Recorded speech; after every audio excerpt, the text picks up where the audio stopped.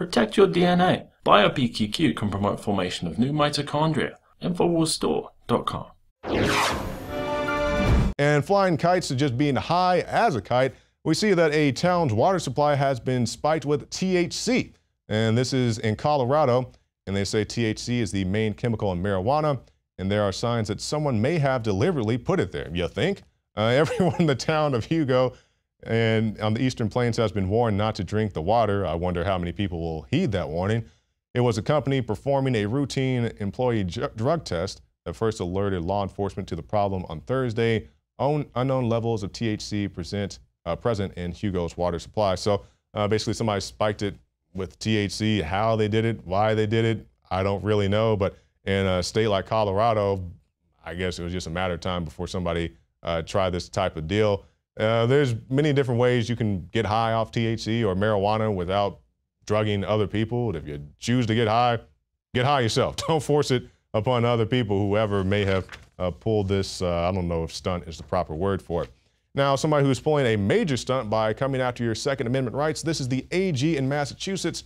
And let's, let's stop for a second and think about this because every time you hear these polls, right? You hear these polls, uh, you know, nine out of 10 Americans want X, or the majority of people said they want this. And when they say the majority of people polled answered a certain question a certain way, that's fine. But when they try to say that's indicative of the United States of America, I don't really buy that. For example, where you poll has a great deal of impact on what your answers will be. Case in point, uh, earlier this year, I was like, hey, where can I go and meet some Bernie Sanders supporters? So I went to the University of Texas and I did a man on the street. And lo and behold, I ran into a whole bunch of Bernie Sanders supporters. But I knew that Bernie Sanders was very popular with college kids. College kids are at the University of Texas, so let's go talk to the college kids and see who likes Bernie Sanders.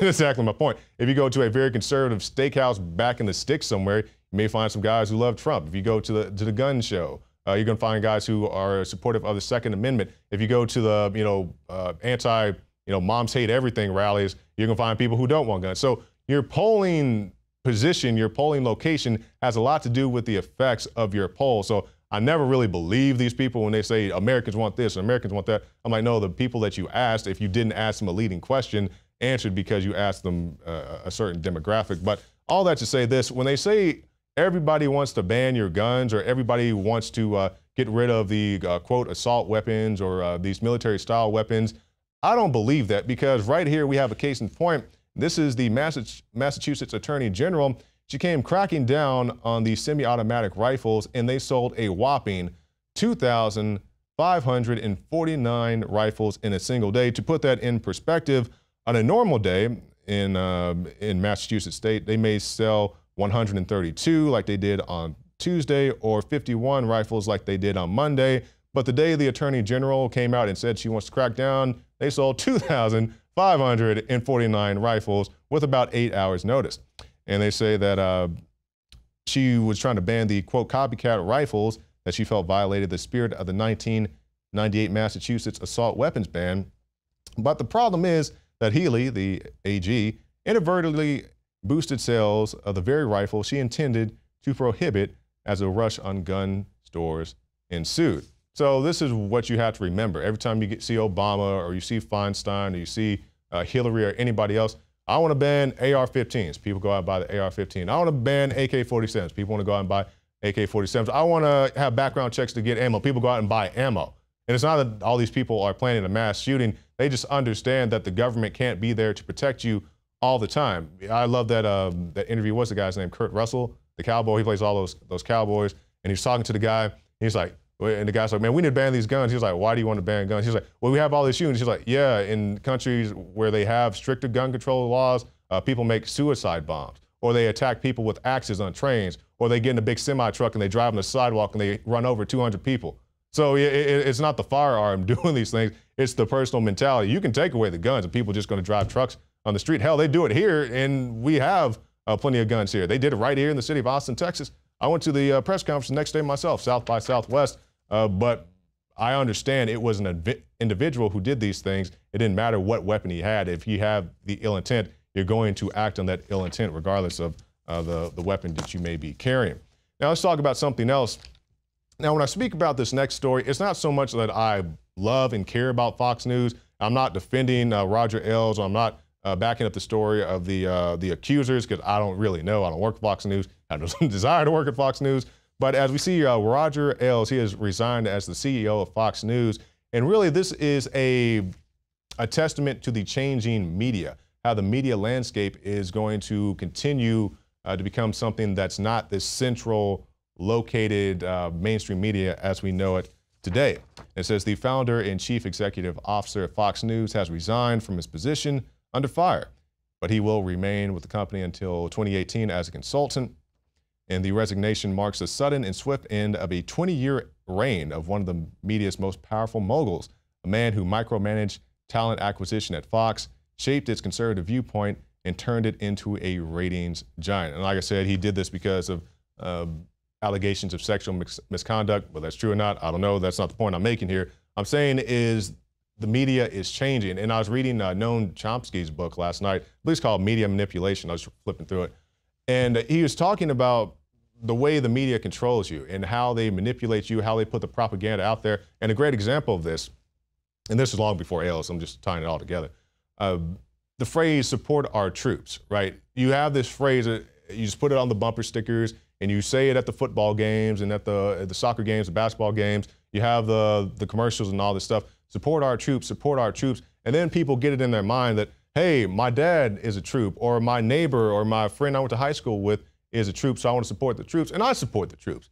I just don't support every single order that they're given. And that's how they they uh, put this thing together, right? They try to make it where you can't separate the troops from the orders that they're given. They're one and the same. So you have to support the troops. So you have to support every order that they're given. You have to support the troops when they uh, they use a drone to blow up a wedding party you have to support the troops. So they use a jet to blow up a hospital overseas. You have to support the troops. Or you have to support the, the feds when they give guns to Mexican drug cartels. Or you have to support guys who airdrop grenades and rocket launchers to ISIS. They're, they're, they're one and the same now. So you have this mixed up, blended thing that cannot be separated. And that's how they continue to push through these agendas with their media manipulation, doing things like that. He goes way more in depth, but I think that's a great example. I actually would recommend that book to a lot of people who are interested in getting into media so they can understand truly how the media operates. And now I bring you some very unfortunate news. It's another day and unfortunately a, another terror attack. And we have a manhunt in Munich after a shooting kills at least eight. A shooting at a shopping mall in Munich has left at least eight people dead and multiple people injured, the Munich police say. Police said that based on witness testimony, they were acting on the assumption that there were at least three attackers. They say they're describing it as an active shooting scene, and it's not clear what motivated the attack. And of course, uh, when you don't know who your shooters are, you don't know what their motivation is. Uh, it's a very scary thing, especially when you think about, uh, you know, you just go to a shopping mall, you're trying to live a, a, normal, everyday life, and then you have to deal with stuff there, or any place you go. You go to school, any place else. But also, uh, this follows the not so recent axe attack that we saw earlier this week. You know, some guy was on the train. He had his axe. He had a knife. You know, he's fighting with people. You know, chopped people up. Eventually, the cops caught him and shot him. But uh, man, it's it's just getting to the point where this is not just here in the U.S. because they always want to talk about here in the U.S. And of course, we have our issues here, but you also have things going on in France and in uh, Istanbul or in Germany, as we see in the case here. And we'll bring you more information as it becomes available. And finally, tonight talking about Mrs. Clinton. Now, if you don't like Mrs. Clinton, you don't want to see Hillary for president, you may say you want to see Hillary for president, and that's exactly what you can participate in if you go to Florida National University tomorrow. And the hours are from 12 to 2. There's going to be flying around the Hillary for prison banners. And just let her know uh, that she needs to be in prison. Also, I think there's still the, uh, the bounty to call it out. If you can get Hillary to autograph your shirt, myself and Rob Dew will both send you $100 each. So uh, go out there, go forth, and prosper. That's it for this segment. Uh, stay tuned after this break for more special reports.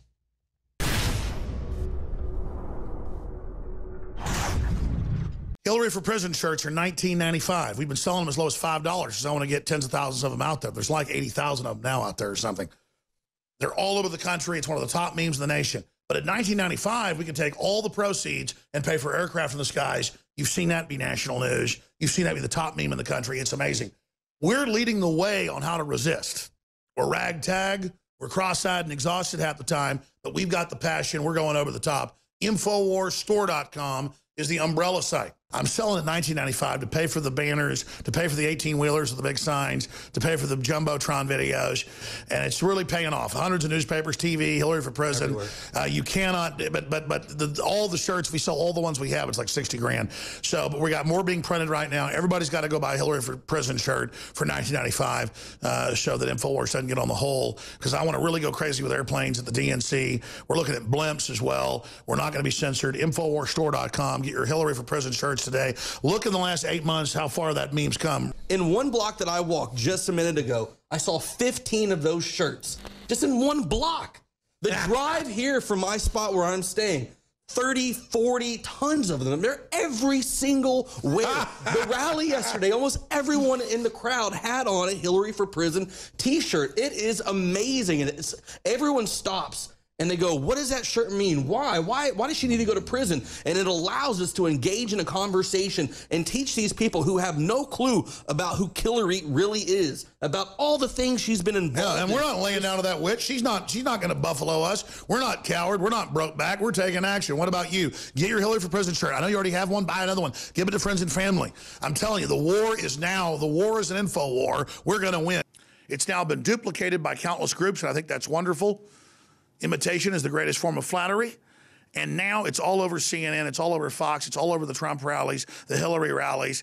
The number one search term for a week straight last week, and, and still continuing, one of the top search terms is Is Hillary going to jail? This has been incredibly successful because it shows, despite corporate control and despite them trying to control the meme, we've had three versions of the Hillary for Prison shirt. All of them have been collector's edition and have helped fund the info war. We now have a third edition in. The second edition sold out. It's the same as the last, but on the right shoulder says Infowars.com. On the back, it says Infowars.com, legalize freedom. Be part of history. Be part of supporting the info war. Be part of meeting like minded friends and family. Get your Hillary for Prison 2016 third wave shirts at InfoWarsStore.com or call toll free 888 253 3139.